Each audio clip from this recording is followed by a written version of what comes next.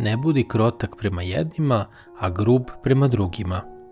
Ako želiš da budeš smiren, onda ne budi krotak prema jednima, a drzak prema drugima, već budi krotak sa svima, bio to prijatelj ili neprijatelj, ugledan ili neugledan čovek.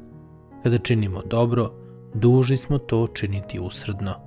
Shvati da ništa ne predstavljaju ni bogatstvo, ni zdravlje, ni slava, jer postoje ljudi, podvižnici, koji su mogli da se obogate, ali ne stiču ništa materijalno, koji postom iznuruju svoje telo i ne žive u slavi, već u prezrenosti i smirenju. Gospod žali grešnika koji ne žali samoga sebe. Ja sam krotak i smiren srcem, govori Gospod. Bog je krotak, a čovek se samo uzvisuje.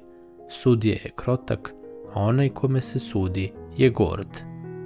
Hristos je oprao noge izdajniku, podkradaču svetinje i lopovu, judi, i udostojio ga da bude učesnik trpeze tajne večere, davši nam time primer dugotrpljenja i smirenja.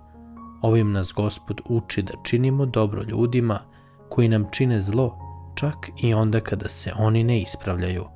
Uz veru pokaži hrabrost i smirenu mudrenost. Adam je poslušao svoju ženu, nije projavio ljubav prema Bogu i otpao je od raja sladosti, navukao prokletstvo na svu zemlju i postao smrtan. A Jov se, ne poslušavši ženu, izbavio od đavola i sedenja na đubrištu i iznova primio dobra zemaljska i carstvo nebesko. Posvećujte sve vreme gospodu Bogu našem i budite istrajni, dok vam se nesmilostivi i od gospoda slave ne ištite ništa drugo osim milosti.